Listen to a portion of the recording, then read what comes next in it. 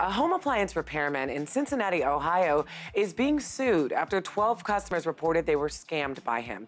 He's accused of accepting payment but never completing the repairs.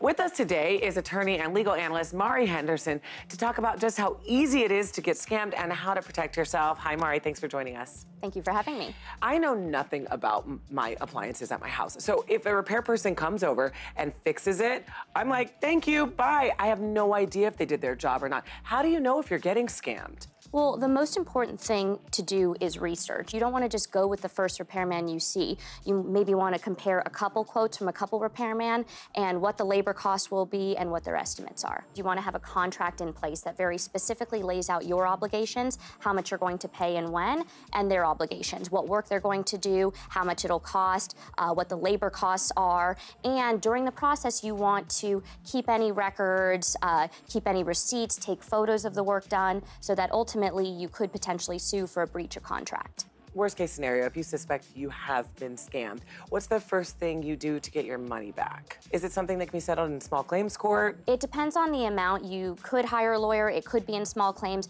but the first thing you want to do is you want to file a complaint with the Consumer Protection Division and also with the Better Business Bureau to protect yourself and also put everyone else on notice. Okay, great information, Mari. Thank you so much. Thank you.